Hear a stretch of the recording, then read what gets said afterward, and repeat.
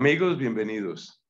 Esto es El Repaso, nuestra oportunidad de volver al texto del Evangelio del domingo pasado para profundizar alguna de sus frases, alguna de sus palabras, porque queremos que la palabra de Dios pueda dar un fruto pleno en nosotros. Es evidente que la fecundidad que el Espíritu Santo le da a la palabra no se agota en una sola lectura, ni en una sola homilía, ni en una sola exégesis. Y por eso el ejercicio del repaso es algo así como un recordatorio de cuánto, cuánto podemos recibir, cuánto podemos y debemos recibir de la palabra divina. Así que, bienvenidos. Y damos la gracia del Espíritu Santo y mientras hacemos ese ejercicio, vayamos recordando, vayamos recordando qué es lo que oímos en ese domingo pasado. Acuérdate, era el domingo segundo de Pascua. Pidamos esta gracia del Espíritu uniéndonos a la oración de Jesús. Padre nuestro que estás en el cielo, santificado sea tu nombre. Venga a nosotros tu reino, hágase tu voluntad en la tierra como en el cielo. Danos hoy nuestro pan de cada día, perdona nuestras ofensas, como también nosotros perdonamos a los que nos ofenden. No nos dejes caer en la tentación, mas líbranos del mal. En el nombre del Padre y del Hijo y del Espíritu Santo. Amén. Quiero contarles, antes de ir al texto griego, que este pequeño gusto que he tenido por la lengua griega, pues viene de muchos años atrás. Y, el primer texto, el primer versículo al que deseé ponerle una melodía para que me acompañara, para que estuviera más conmigo, es exactamente el que tenemos el día de hoy. Así que eh, para mí tiene casi un carácter autobiográfico ir a este texto que es del Evangelio de Juan, en el capítulo 20, versículo 27, y te recuerdo que es una frase que Cristo le dice al apóstol Tomás.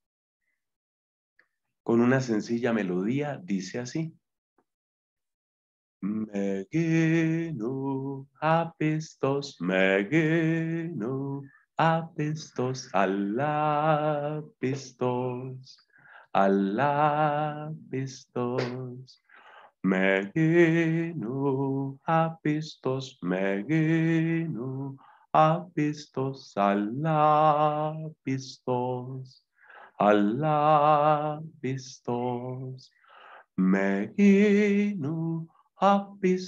megenu apistos, alapistos, alapistos. Megenu apistos, megenu apistos, alapistos, alapistos. Megenu apistos megenu, apistos Allah, pistos, Allah, pistos, meginu, apistos, meginu, apistos Allah, pistos, Allah, pistos. Meginu apistos, meginu apistos, ala pistos, ala pistos.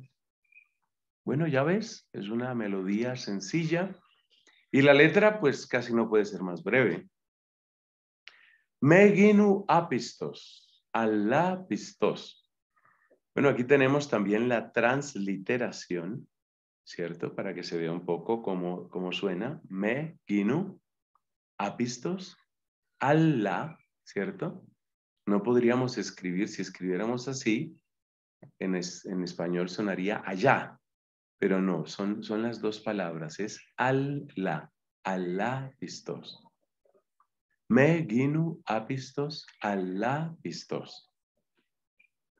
Entonces, anímate, vamos a cantarlo. Meginu apistos, meginu apistos,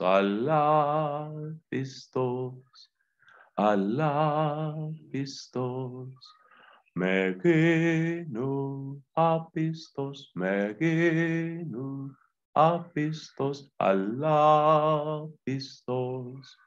alapistos. Meginu apistos, meginu apistos, alapistos, alapistos. Meginu apistos megenu, apistos alapistos, alapistos megenu, apistos megenu, apistos alapistos, alapistos. Esta frase, como hemos dicho, se la dice nuestro Señor Jesucristo al apóstol Tomás. Cristo le muestra, ¿no? Las manos, le muestra la llaga del costado y le dice, mira, aquí están mis manos, mete tu dedo en el agujero de los clavos, mete tu mano en mi costado. Lo cual, entre otras cosas, a mí me impacta mucho, porque eso nos muestra que la herida del costado realmente le despedazó el costado a Cristo, ya exánime. Es decir, es una herida eh, terrible, es una herida muy abierta, es una llaga que, que realmente nos permite asomarnos al misterio del corazón de Cristo, del interior de Cristo. Entonces, Cristo le dice a Tomás, aquí están mis manos, aquí está mi costado, mete tu dedo en mis manos, mete tu mano en mi costado y no seas incrédulo. Esa es esta palabra, apistos, incrédulo. ¿Por qué? Porque creyente, el que tiene fe, se dice pistos. La palabra fe en griego es pistis, pistis. Creer es pisteuo. Entonces, pistis es fe, pisteuo es creer, pistos es el que cree, el que tiene fe. Y por consiguiente, apistos es el que no tiene fe.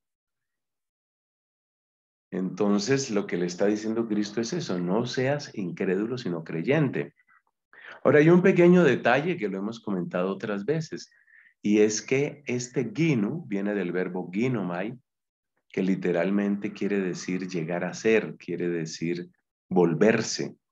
Entonces, eh, claro, sabemos que ginu en negativo, me ginu, es algo así como el, el imperativo negativo del verbo ser, del verbo eimi, el verbo ser. O sea que no está mal la traducción de no seas, no seas incrédulo. Sí, esa es una traducción correcta. Pero date cuenta que no se excluye lo otro. Lo otro es, no te vuelvas incrédulo. Cosa que tiene sentido en el contexto del Evangelio, porque Tomás había tenido fe, claro. Tomás había puesto su fe en Cristo, pero los acontecimientos de la pasión y de la cruz de algún modo le habían arrancado, o por lo menos le habían debilitado mucho esa fe. Entonces, la frase de Cristo es interesante, meginu apistos, no te vuelvas incrédulo, no te vuelvas incrédulo, sino creyente. Meginu apistos, alá pistos. Vamos a cantarlo una última vez.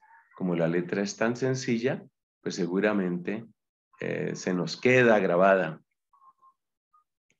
Meginu apistos, meginu apistos, alapistos, alapistos, megenu, apistos, megenu, apistos, alapistos, alapistos, megenu, apistos, megenu, apistos, alapistos, alapistos, megeno, apistos, megeno, apistos,